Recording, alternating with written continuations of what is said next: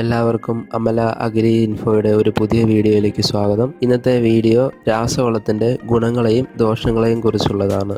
ഞങ്ങൾ അപ്ലോഡ് ചെയ്യുന്ന കാർഷിക മേഖലയുമായി ബന്ധപ്പെട്ട അറിവുകൾ നിങ്ങൾക്ക് ഉടൻ തന്നെ ലഭിക്കുവാനായി നിങ്ങൾ ഈ ചാനൽ സബ്സ്ക്രൈബ് ചെയ്ത ശേഷം ബെൽ ഐക്കൺ കൂടി പ്രസ് ചെയ്യുക.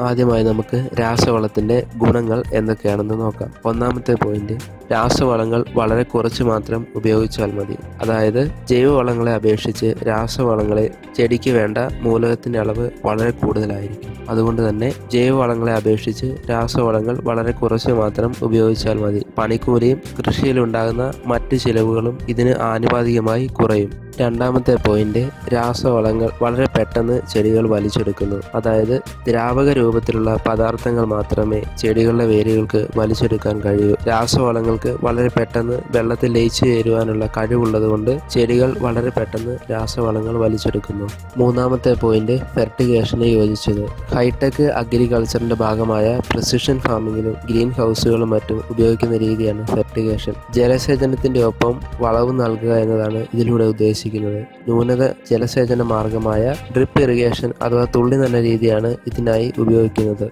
നാലാമത്തെ പോയിന്റ് വളത്തിലുള്ള മൂലകത്തിന്റെ അളവ് അറിയാൻ കഴിയുന്നു. ജൈവ വളങ്ങളിൽ മൂലകത്തിന്റെ അളവ് അതിലെ ജൈവ വസ്തുക്കളുടെയും വളത്തിന്റെ പഴക്കത്തെയും അതിലടങ്ങിയിരിക്കുന്ന ഈർപ്പത്തിന്റെ അംശത്തെയും തുടങ്ങിയ നിരവധി ഘടകങ്ങളെ ആശ്രയിച്ച് വ്യത്യാസപ്പെട്ടിരിക്കുന്നു.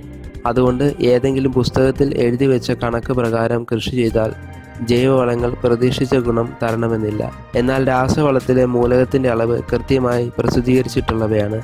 അതനുസരിച്ച് ഒരു കർഷകന് ആവശ്യമുള്ള വളത്തിന്റെ അളവ് ഒരു കൃഷി ഓഫീസറുടെ സഹായത്തോടെയോ സ്വന്തമായോ കണ്ടുപിടിച്ച് അത്രയും അളവ് മാത്രം ഉപയോഗിച്ച് കൃഷി ചെയ്താൽ മതി. അഞ്ചാമത്തെ പോയിന്റ് രാസവളങ്ങൾ രോഗങ്ങൾ തടയാൻ സഹായിക്കുന്നു. അതായത് രാസവളങ്ങളുടെ പ്രവർത്തന ഫലമായി മണ്ണിലെ സൂക്ഷ്മജീവികളുടെ ആവാസ വ്യവസ്ഥ പൂർണമായോ ഭാഗികമായോ നശിക്കുന്നു. ഇതിന്റെ ഫലമായി ഒരു പരിധിവരെ രോഗങ്ങൾക്ക് കാരണമാകുന്ന സൂക്ഷ്മജീവികളും നശിച്ചു പോകുന്നു ഇനി നമുക്ക് രാസവളങ്ങൾ ഉപയോഗിക്കുന്നതുകൊണ്ടുണ്ടാകുന്ന ദോഷങ്ങൾ എന്തൊക്കെയാണെന്ന് നോക്കാം. ഒന്നാമത്തെ പോയിന്റ് മണ്ണിന്റെ ജീവൻ നശിക്കുന്നു. നമ്മൾ നേരത്തെ പറഞ്ഞ പോലെ രാസവളങ്ങൾ മണ്ണിലെ സൂക്ഷ്മജീവികളുടെ ആവാസ വ്യവസ്ഥയെ പൂർണമായോ ഭാഗികമായോ നശിപ്പിക്കുന്നു. അതിന്റെ ഫലമായി ചെടികളെ സഹായിക്കുന്ന സൂക്ഷ്മജീവികൾ ഉദാഹരണത്തിന് ജൈവവസ്തുക്കളുടെ വിഘടനത്തിനും നൈട്രജൻ ഫിക്സേഷനുമൊക്കെ നടത്തുന്നത് സൂക്ഷ്മജീവികളുടെ പ്രവർത്തനം വഴിയാണ്. ഇത്തരം സൂക്ഷ്മജീവികൾ നശിക്കുന്നു. രണ്ടാമത്തെ പോയിന്റ് രാസവളങ്ങൾ വളരെ പെട്ടെന്ന് വെള്ളത്തിൽ ലയിച്ചു പോകുന്നത് കൊണ്ട് നമ്മൾ ജലസേചനത്തിന്റെ സമയത്ത് നൽകുന്ന വെള്ളം കുറച്ച് നഷ്ടപ്പെട്ടു പോകുന്ന കൂടെ രാസവളങ്ങളും കുറച്ച് നഷ്ടപ്പെടുന്നു. മൂന്നാമത്തെ പോയിന്റ് അമിതമായി കഴിഞ്ഞാൽ രാസവളങ്ങൾ ഗുണത്തേക്കാൾ കൂടുതൽ ദോഷം ചെയ്യുന്നു. അതായത് രാസവളങ്ങളിൽ മൂലകത്തിന്റെ അളവ് വളരെ കൂടുതലായതുകൊണ്ട് തന്നെ അമിതമായ വളപ്രയോഗം ചെടികളിൽ മൂലകത്തിന്റെ അളവ് അമിതമായി കൂടുന്നതിനും അത് ചില രോഗങ്ങൾക്കും ചെടി പൂർണമായി നശിക്കുന്നതിനും വരെ കാരണമായേക്കാം.